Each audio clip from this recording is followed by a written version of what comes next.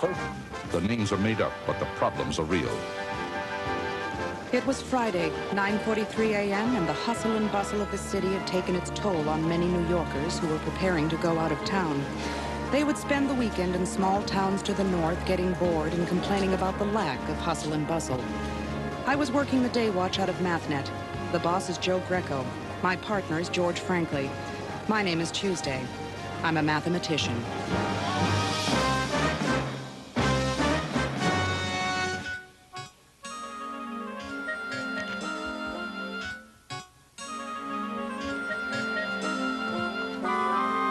Nice outfit, George. Are you coming or going? Oh, hi, Pat. I'm glad to see you. What are you doing this weekend? Well, I do have some plans. Cancel them, What? please. I, I got a favor to ask you. Martha and I were scheduled to go upstate for a mystery weekend. Oh, where everybody plays a different part and tries to solve a crime? Right, it's all make-believe. It could be a murder mystery or a kidnapping or a, a hidden treasure.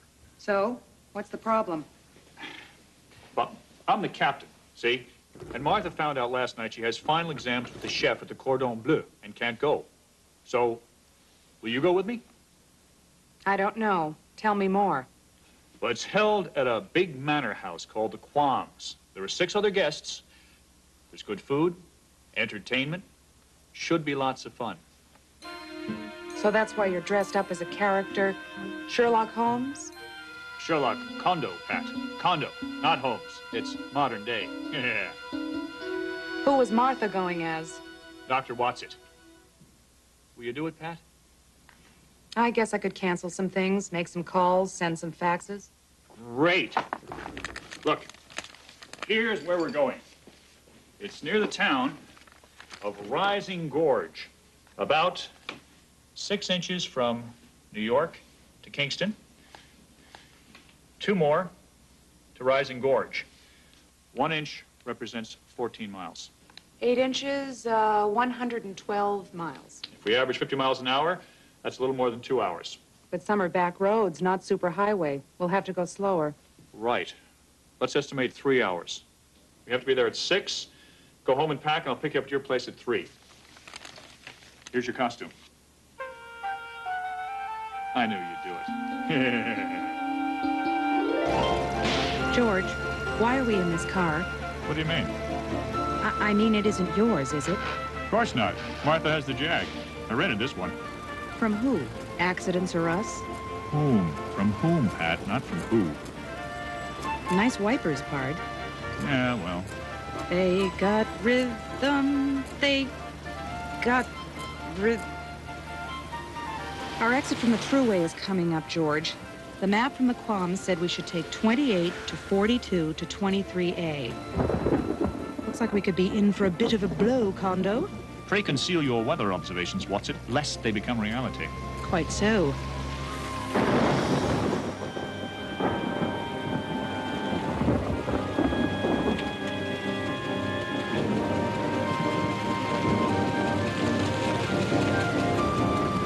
This map, there ought to be a sign for the Qualms right around here. Look, Sherlock, the sign. Excellent observation, my dear What's it? Just across this raggedy old bridge.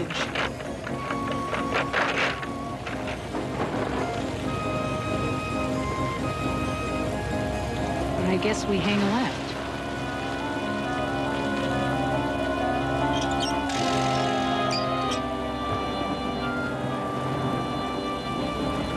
George, the night is making me uneasy. Sherlock, not George. Remember, we have to stay in character. It's all part of the game. Lighten up, Watson. Nice weather. For submarines, I'll get my bag.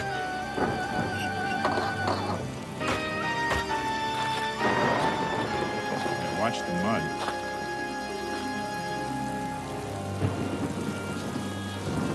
Cozy little place, eh, Walt? That's perfect. It's just like one of those haunted houses from a bad movie.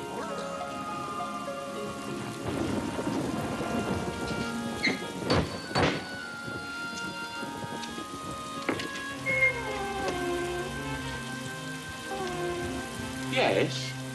I'm Sherlock Condo, and this is my partner, Dr. What's it? Mathnet. Mathnet? I'm sorry, we won't step out of character again. And you are? I am paved. I'm a little ticked off myself. Have the other guests arrived? Why, yes. They're in the drawing room. Come along, Watson. Let's join the other players.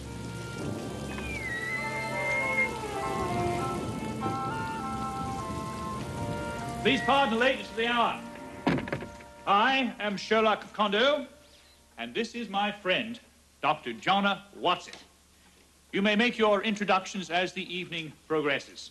I say, Condo, have you some perception of what in the name of heaven's going on? I do indeed.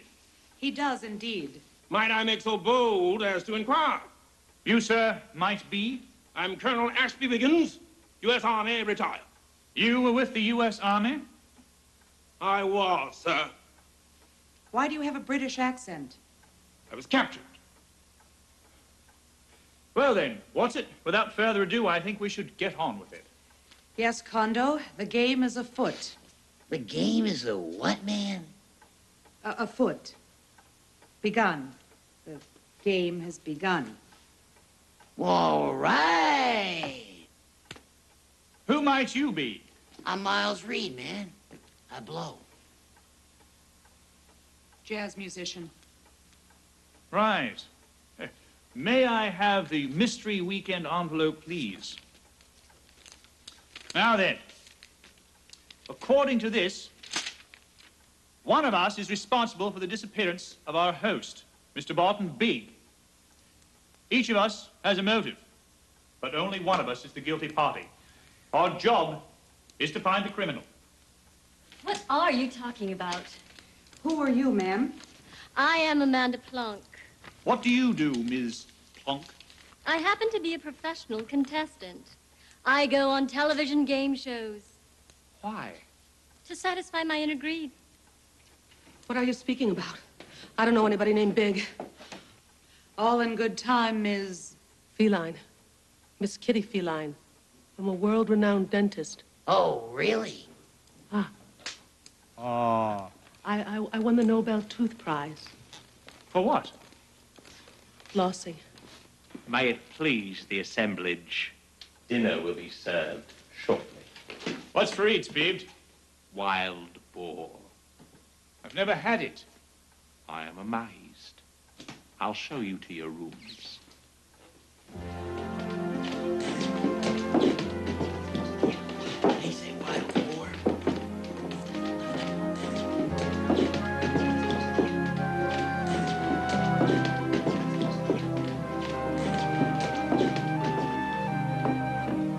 Please step along. You each will note that you've been assigned a bedroom. Your luggage has been placed in your rooms. Please be in the dining room in 15 minutes. Yeah, okay. Kitty Feline.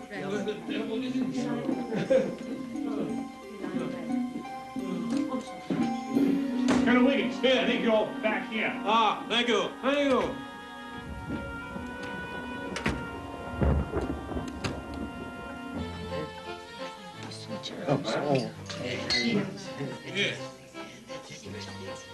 How your digs, Pard?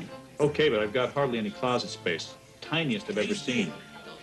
Well, let's, uh, chow down. Kitty Feline isn't here. Shouldn't we wait? Who? The world-renowned dentist. What was that? B flat, man.